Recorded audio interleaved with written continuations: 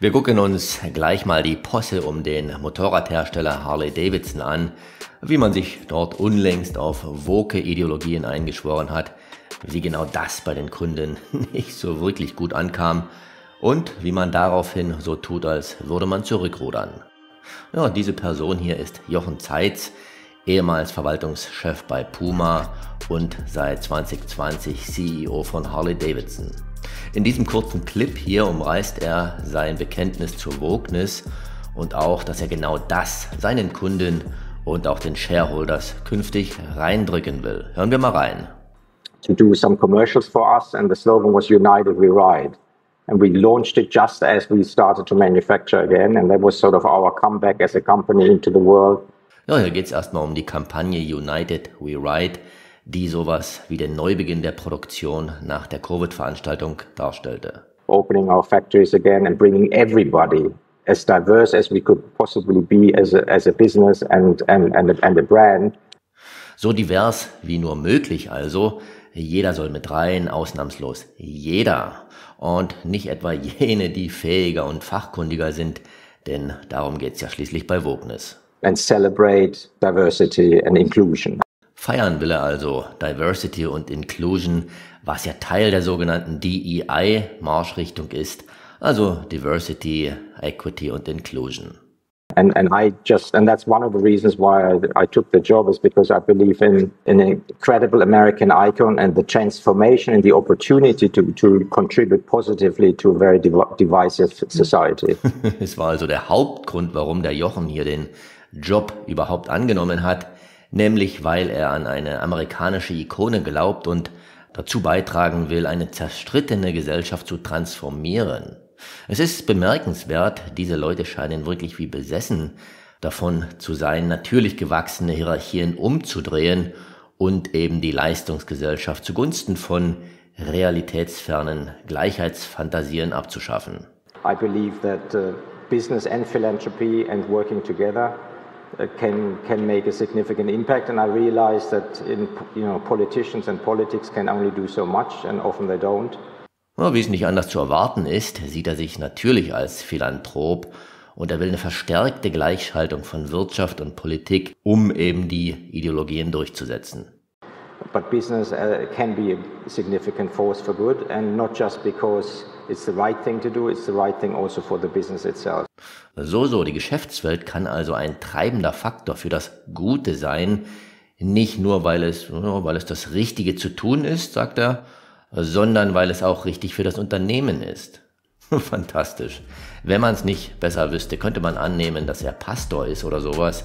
So moraltriefend wirkt das Ganze hier auf mich. Und dass es das Richtige für die Unternehmen sei, das kann eigentlich sofort widerlegt werden. Zum ersten ist die wunderbar toxisch männliche Klientel von Harley so ziemlich die letzte, der man mit solchen New Age-Theorien kommen kann. Und zum zweiten wird natürlich auch zwangsläufig die Qualität der Erzeugnisse leiden, sobald der Unternehmensfokus auf Diversity anstatt auf Meritocracy ausgerichtet ist. Ist ja ganz klar. Wir haben das bei Boeing gesehen, wo die Qualitätsmängel und Unfälle offenbar infolge dieser Ideologien rapide angestiegen sind und natürlich auch der Shareholder Value ins Bodenlose gefallen ist. Wir haben es auch bei Bud Light gesehen, das war eigentlich immer das Ikone-Bier der Amis. Dann kamen Vokismus, ein gewaltiger Verbraucher-Backlash und ein Marktkapitalverlust von 16 Milliarden Dollar in dieser Reihenfolge. Wir sehen es auch beim Pharma-Riesen Pfizer, der sich zum Ziel gesetzt hat, bis 2025 europäischstämmige Führungspositionen zu reduzieren. Ganz einfach, weil sie europäischer Herkunft sind. Und einer meiner Favoriten, Coca-Cola, gab seinen Mitarbeitern intern Instruktionen, wie sie weniger weiß sein können. Oh, du weißt schon, weniger unterdrückerisch, nicht so selbstsicher und auf keinen Fall solidarisch mit anderen Weißen. Ja, all das kommt bei normalen Leuten natürlich nicht so gut an und es regt sich logischerweise Widerstand. Interessiert das die Konzerne? Naja, nicht wirklich. Ideologie steht, wie es ausschaut, über der Gewinnmarge.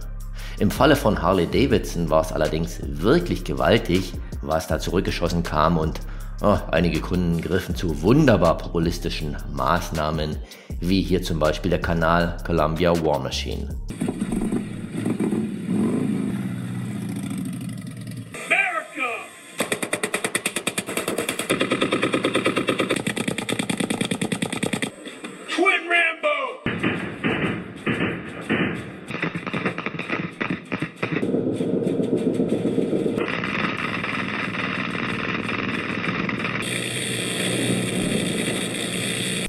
Ja, jetzt könnte man fragen, bringt das alles denn was und ist das vielleicht nicht ein bisschen übertrieben?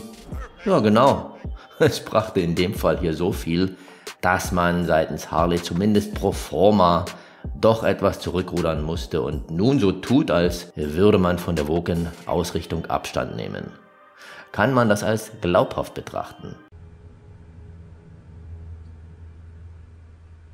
right, yeah, of course. ja, hier mal mein Hinweis an Harley und Konsorten. Das wird nichts werden mit eurer Ideologie, egal wie viele Moralin getränkte Dunstwolken ihr aufpustet. Und Jochen, wenn du die eine oder andere Dosis Realität willst, dann hol dir mal ein Buch oder klick dich ein bisschen durch meine Videos. Kann dir helfen. Allen anderen danke fürs Zusehen, liken und kommentieren. Ciao, ciao.